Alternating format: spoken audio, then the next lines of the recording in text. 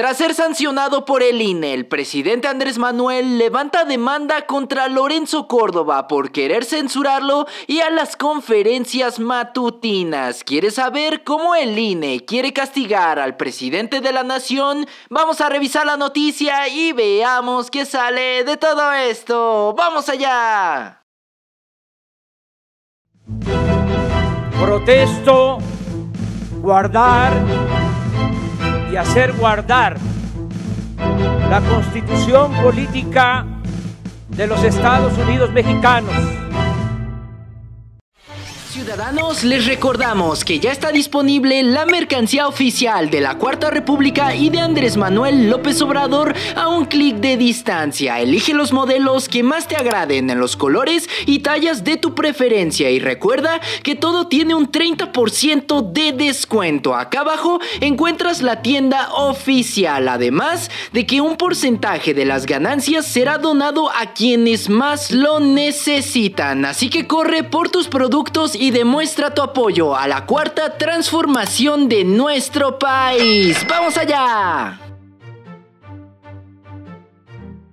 Pues así es ciudadanos, de nueva cuenta el Instituto Nacional Electoral, el INE y Lorenzo Córdoba quieren volver a atacar al presidente Andrés Manuel López Obrador. No saben qué hacer con la investidura presidencial, con todo el poder que tiene y con todo el apoyo que tiene de la población mexicana. El día de hoy se ha confirmado que el Instituto Nacional Electoral estaría levantando una sanción en contra del presidente Andrés Manuel por entre comillas estarse inmiscuyendo en los previos de los comicios electorales de 2021. Sin embargo, ciudadanos, a lo largo de este video veremos lo que dijo Lorenzo Córdoba, las amenazas que le hizo al presidente y la increíble respuesta del presidente Andrés Manuel, además de la demanda que le levanta directamente al INE y a este consejero presidente Lorenzo Córdoba. Todo esto surge tras las declaraciones del presidente Andrés Manuel durante la gira de Baja California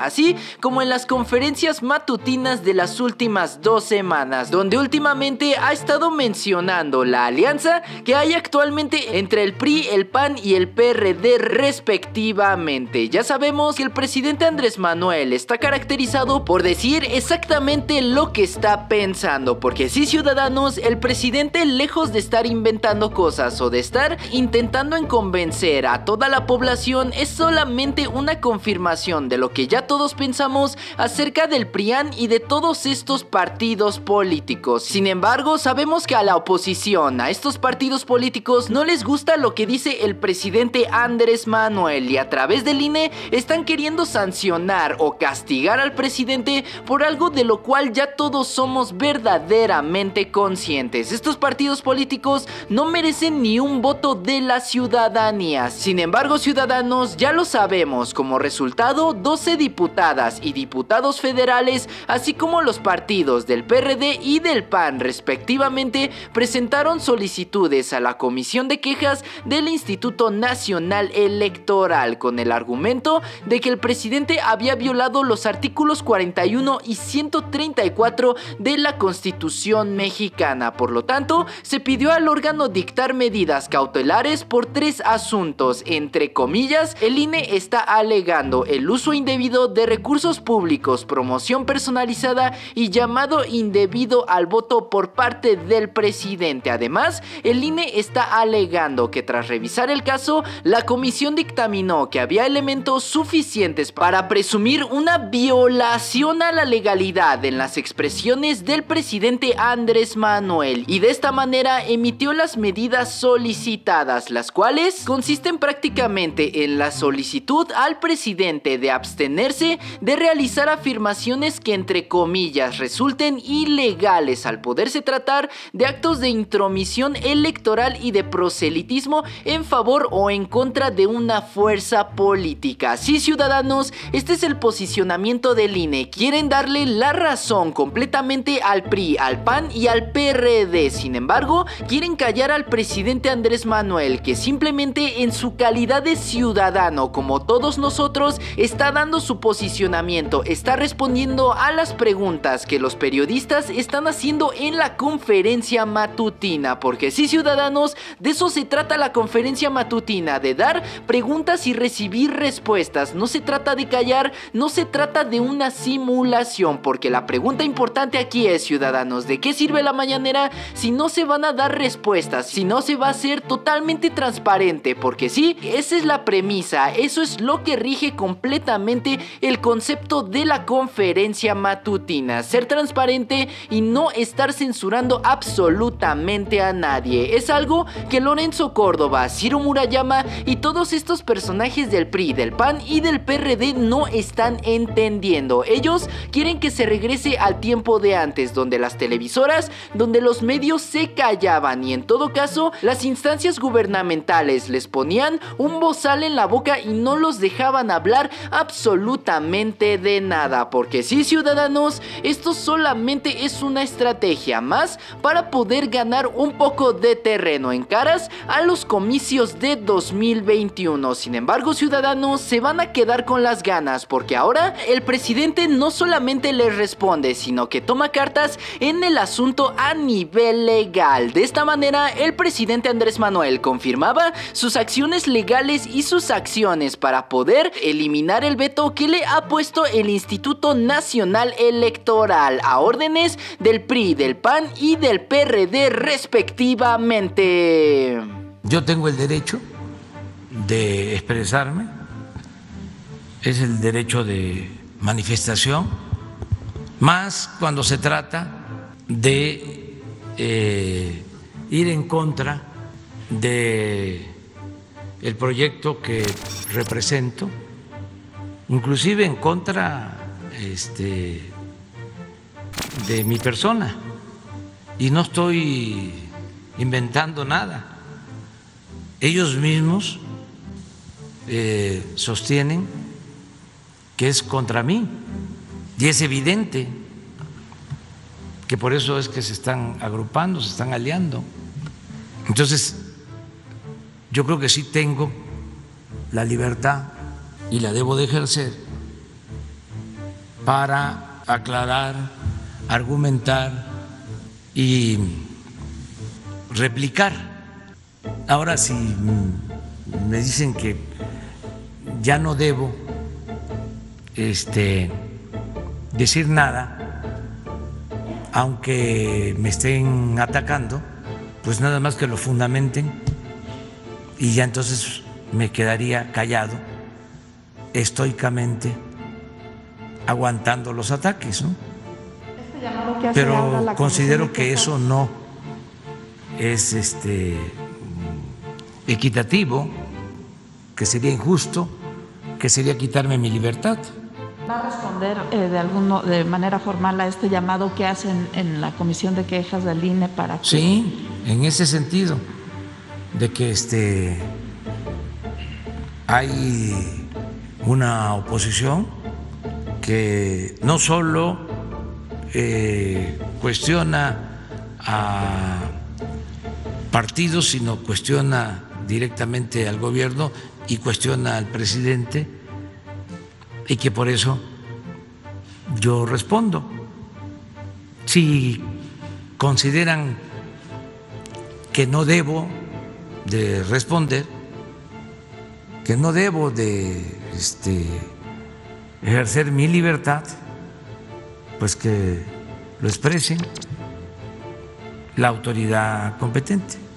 Así es ciudadanos, el presidente Andrés Manuel ya lo dijo bastante claro, se van a realizar las diligencias legales respectivas para poder quitar este veto y poder de esta manera demostrarle al INE que de ninguna manera se está infringiendo ninguna ley ni tampoco se está violando la constitución mexicana. Sin embargo, no ha tardado nada en responder directamente el INE a través de Lorenzo Córdoba, el cual de una manera ardida le responde responde al presidente y entre otras cosas lo amenaza por no estar acatando entre comillas los caprichos del INE y de todos estos partidos políticos. Por eso creo que es muy importante que el presidente cumpla la Constitución. No se trata de que se le quiere silenciar o no.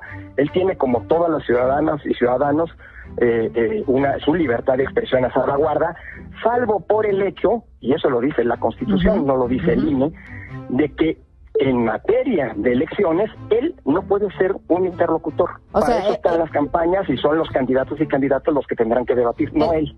Ya lo padecimos. Acuérdense de Vicente Fox diciendo que había que cambiar de jinete, no de caballo. Algo muy grave. Ahora ya está prohibido en la Constitución. Y pues sí, ciudadanos, respecto a todas estas declaraciones, a estas sanciones por parte del INE hacia el presidente de la nación, el día de hoy el presidente Andrés Manuel, por medio de la Consejería Jurídica del presidente de la nación, se presentó una impugnación legal ante el Tribunal Electoral del Poder Judicial de la Federación por esta instrucción girada por el INE y el veto que le están queriendo poner al mismo presidente Andrés Manuel. El documento presentado a través de esta Consejería Jurídica de Presidencia argumenta que la Comisión de Quejas realizó un análisis subjetivo e ilegal sobre dichos futuros, los cuales de ninguna manera que puedan llevarse a cabo. Es decir, que todo lo que dice el presidente no tiene que llevarse a cabo necesariamente o que tiene que ser verdadero solamente porque lo está diciendo el mismo presidente de la nación. Porque sí, ciudadanos, ellos mismos le están dando el valor a lo que dice el presidente y de alguna manera lo están tomando como una verdad absoluta. Si el presidente dice algo, ellos ya le están dando esa legitimidad porque ellos saben que el presidente tiene bastante peso y que el pueblo está detrás de él para darle legitimidad a sus palabras. Porque sí, eso verdaderamente ya lo saben y como tal, saben que todo lo que diga el presidente va a ser tomado en cuenta por el pueblo porque de ninguna manera les van a creer a ellos que han estado mintiéndole al pueblo durante sexenios y durante décadas. Sin embargo, ciudadanos, si de intromisiones se está tratando a nivel electoral, que alguien nos diga por qué Ciro Murayama, consejero del INE, se la pasa atacando al partido de Morena en los últimos años, en las últimas semanas. Sabemos que este personaje, Ciro Murayama, ha presentado un proyecto con el que el INE busca regular la sobrerepresentación para todos los partidos políticos en la Cámara de Diputados. Y sabemos que en reiteradas ocasiones ha llamado al INE para poder, entre comillas, controlar el poder que tiene Morena dentro de las cámaras de legisladores. Sabemos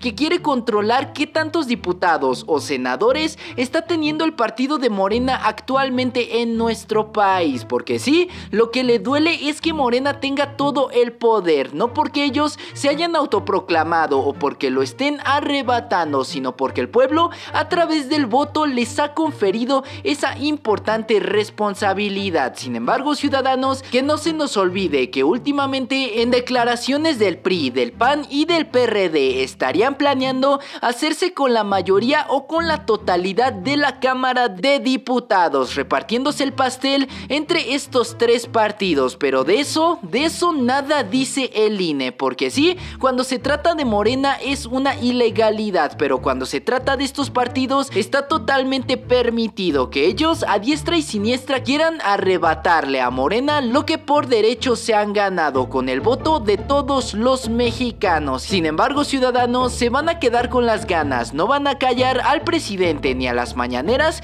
ni van a dejar que todos los medios independientes estemos hablando sobre esta situación, sobre lo malo que fue el PRIAN, sobre lo malo que es el INE y también sus consejeros, entre ellos el presidente consejero Lorenzo Córdoba, el cual ya sabemos cuáles son sus cartas de presentación, un corruptazo, un amigazo del antiguo régimen. ¿Ustedes cómo ven la situación, ciudadanos? ¿Qué les parece este castigo que le quieren meter al presidente y la respuesta, la demanda que hizo Andrés Manuel hacia estos personajes, hacia Lorenzo Córdoba? ¿Ustedes creen que esto vaya a parar al presidente en todas sus declaraciones?